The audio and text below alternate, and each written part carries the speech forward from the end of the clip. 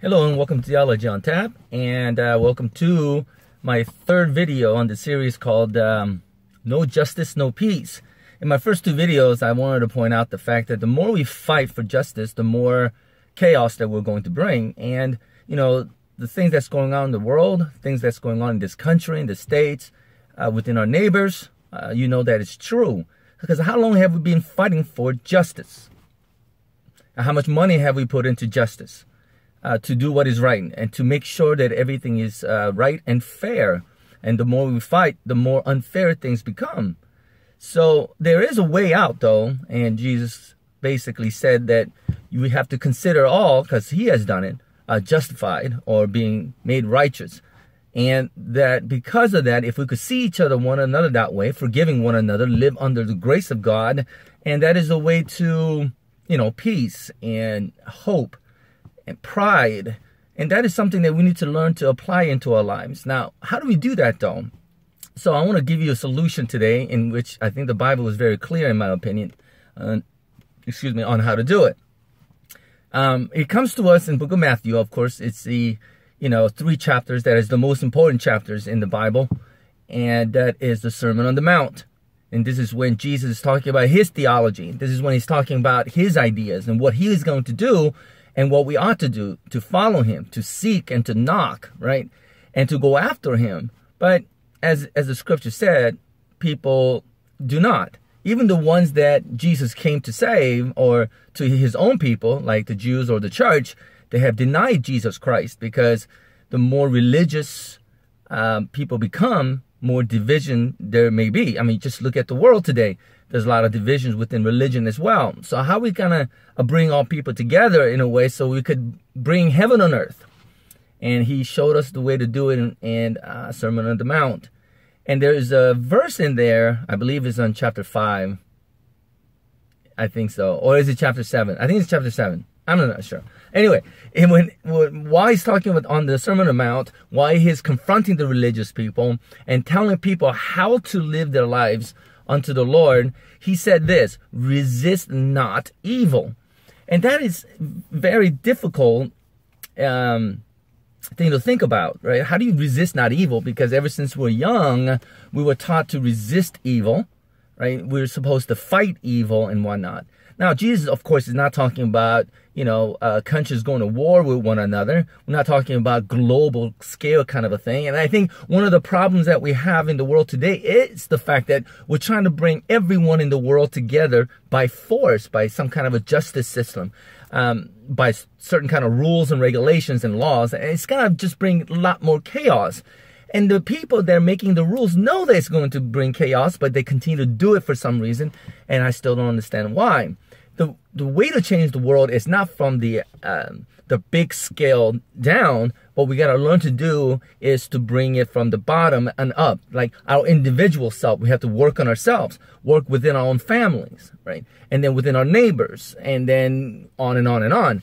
And I think that is the best way to spread the good news of how to live a, a you know good life in peace and freedom that uh, Bible talks about. And this country was founded upon the whole concept of freedom. But seriously, do we really have freedom when our perception that we see from the TV or the news to the politics and religion is nothing but war, rumors of war and hate and division? You know, it's very, very difficult. So resist not evil. Now, one of the things that I, think people get when I was growing up, basically, I was taught that evil is, you, you know, um, Satan um, and all, you know, something terrible, whatnot. But if you look at the word evil in Greek, and this is from Strong's uh, definition, Greek dictionary, it says the word evil, evil, uh, the first definition of it is full of labor, full of labor, annoyance, hardship, pressed, and harassed. Right? If you look at those words, it has nothing to do with evil in the sense of somebody that like like scheming and stealing and whatever. I mean, those are evil as well, but it, it, it's more, I guess, uh, smaller than grand scale evil. It starts with the little things like full of labor, annoyance, hardship, is, is, is in a physical sense, ethical sense, whatnot, right? Um, somebody who brings toils, perils, um, things like that. Something that is bad basically. And if you have lived your life you know there are a lot of people who brings about because of the circumstances in that's full uh, uh, you know full of labor you know there are a lot of people i'm sure they annoy you uh, people that bring hardship to your life um, people who press you and harass you and whatnot. And if you really think about that i mean who has the power to do that to us? You know you could say parents you could say you know teachers police um, government and I mean whoever is in charge to to to make rules that keep harassing us and stuff. Now, this is my third video on the series. I'm gonna do maybe two or three more talking about the people that harass, people that is uh, pressing us and putting us into such labor and whatnot. And for some reason, the way they do it, the the people in charge do it, is to way for us to follow them. I mean, they have such a choke in our lives that we believe them the way we perceive life, you know, is through their eyes, not through our own eyes. That's what it seems like. Because if you really look at it, there are people who are fighting, protesting for equal rights or uh, social justice kind of a thing, or Democrats and Republicans. And, you know, there are people in charge, or there is news or something in this world through marketing, let's say, that is putting a perception into our minds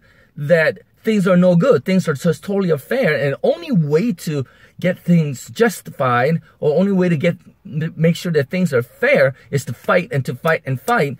And the more we're gonna fight, the more people we're gonna piss off, and more people who are pissed off and angry and hate comes in and you know, no wonder everybody really do not trust one another anymore, and we raise children to do more crimes than than to study and to become, I don't know, successful.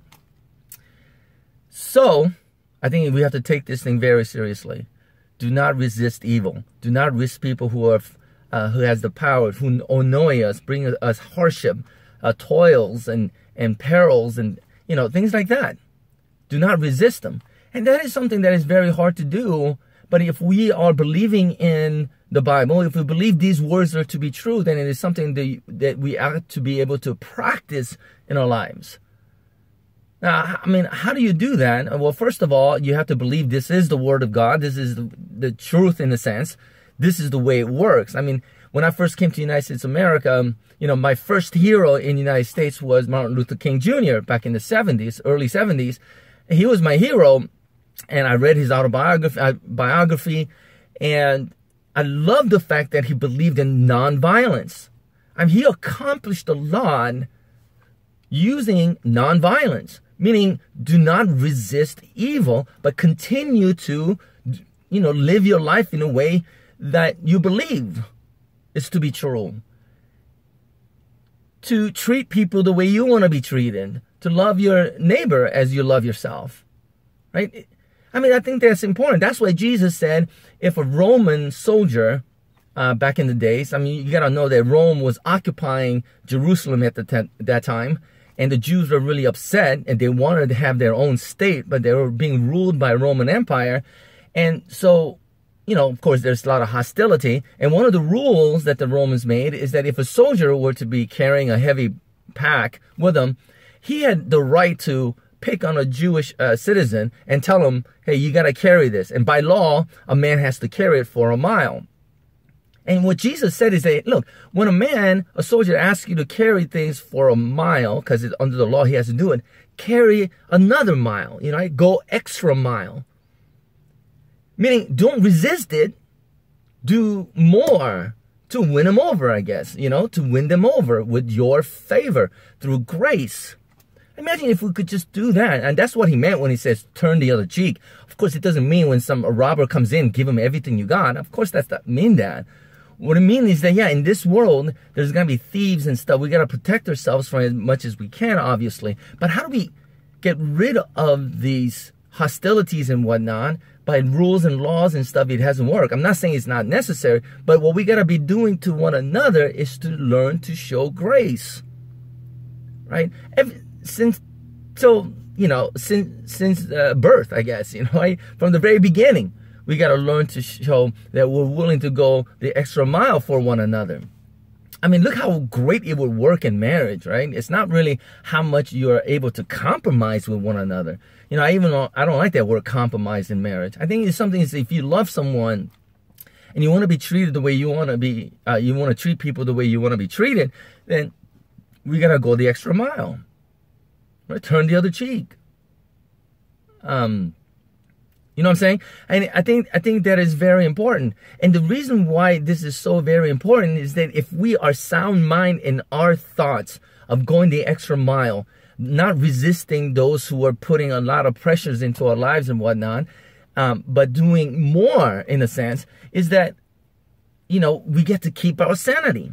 I don't know if you um, see. I'm terrible with names of things, but I also read a book by Viktor Frankl, I think his name is, about a, a, Jewish man who was in a concentration camp for a few years, right? Many years. And he wrote a book about his experience and how he was able to keep his sanity.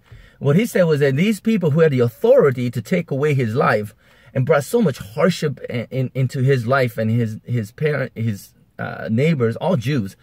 And what he said was there's one thing that these Germans could not control which was his own mind, right? The, the Germans have created an atmosphere where the Jews had no choice, no choice but to perceive that life is over. There's no reason for life. But Viktor Frankl has said, no, there is something, our mind, the way we think. The, in here, that's something that Germans could not control. They couldn't torture him and force him to change his the way he think. Meaning he was not manipulated. His perception was not changed because of evil. He kept it going. And I think that's such a wonderful thing that that somehow we have control over our own mind and instead of being manipulated to to fight for someone or something else for a cause you know i mean everybody wants to fight for a cause and how many different causes and we end up all fighting against each other right don't just go by a certain kind of perception understand here who you are and and you know go the extra mile. Do not resist evil. I think that is the key to freedom and peace. I, I really think that you know just uh, like i said imagine how you could apply that into your marriage and and that there in itself could make a tremendous change in this world. Wouldn't that be nice right but if you say you believe in Jesus and whatnot, instead of going through the perception of heaven and hell, what church teaches, of fighting evil and morality to all that kind of stuff, and all we do is judge one another, instead of that kind of stuff, you know, I know there's certain evil in the world, but let's not, instead of fighting it, you, you know, let's overcome it. Right? Go the extra mile. I, I think that's the way to go. And enough of us do that, I think that's um, it can be accomplished real fast. I think, you know, I've been driving for Lyft for four four months. Oh, I'm sorry. This is um, you can see my thing in the back there, Lyft. I've been doing that for four months. And one other thing I don't like about Lyft is that you know you don't make that you don't make the kind of money. You can't make a living uh, uh, doing it unless you're driving 80 hours a week, and who could do that? Um, but and your car is destroyed by then. Um, but one thing I really enjoy about riding, uh, driving for Lyft is I get to meet all sorts of people, you know, all different races, different class. Um, and it's a wonderful experience for me. And you know what I realize is that everyday people who, you know, call up on Lyft to go to a friend's house or to a, to work and whatnot, are just wonderful, beautiful people. Just wonderful you know, um, they tell me their stories and uh, crack some jokes. Some of them have some problems. We share some about that, and a lot of people have some pro- uh, have problems. But there's always, you know, hope and goodness that you sense driving people around. It's it's been a wonderful experience for me. It brings me another way of understanding life because when you just watch TV and listen to the news and stuff, it just seems like we are going to, all of us are going to hell in a handbasket. That's what it seems like. But that's not the truth. I don't think that's the truth. You know, everybody said everybody has evil in inside of them and, and they have to protect ourselves. I think I think what Jesus meant is that there is good in everyone and we need to bring that out of people. So instead of fighting, right, go the extra mile. And I think it's kind of sad that these beautiful people that I meet, and I've been, I drove up to thousand people so far, and all these people, not one problem yet, you know, and everybody's so good and nice and whatnot. And somehow I'm sure within their own group, whatever the group they go into and stuff, the information uh, gets tossed around, social justice, Democrats, Republicans, and this and that or whatever, and then we just started hating on each other, right? Don't listen to that. I don't think that's good, right? What we should listen to is the word of Jesus. Right? To turn the other cheek, go the extra mile, right? Do not resist evil. Overcome evil with good, right? By being good. I think that'll be awesome, right? Uh, well, that's the solution and uh, uh, in my opinion and i'm gonna make maybe two or three more videos on this subject i'm gonna talk about those who has the power to pressure us and whatnot that take away this this just common sense in every one of us to do good right? Uh, those that um, that take away this freedom from us. I want to talk a few about that next two three videos. Hopefully you join me for that. If you like this video please like it and share it. And uh, yeah hope this is a blessing to you. See you next time